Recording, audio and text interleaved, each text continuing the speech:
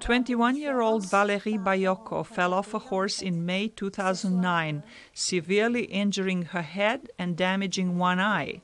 Three years later, she underwent surgery in an attempt to restore her eyesight. But the surgery failed, and doctors had to remove the eye.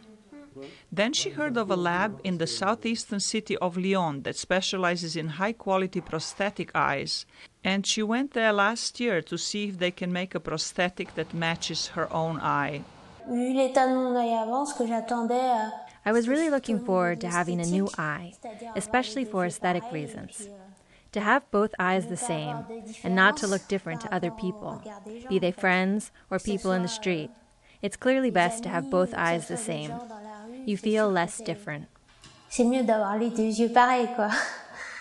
Comme ça, au moins, on a l'impression d'être moins différent. Bayoko's prosthetic eye looks almost like her natural eye, thanks to the precise and detailed work of artist Philippe Jacquin Ravaud. He specializes in such precise painting that sometimes he needs a magnifying glass. Ravaud says a friend persuaded him to seek the job with lab owner Dominique Charles Messens, who specializes in oculist prosthetics. A friend who lost her eye in 1992 talked to me about Messens. I went to see him, not with a resume, but with my work, my files, my miniature trees. Ravaud says he was hired on the spot and has been working with Messens ever since. He says he paints about 650 prosthetic eyes a year. What interests me about this job is the precision, the use of colors which I use as an artist.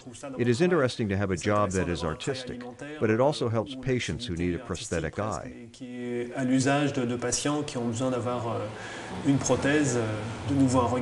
The cost of a prosthetic eye at Messens is about $1,200. It takes about six hours to make it. A person can arrive in the morning and leave at the end of the day with a new eye.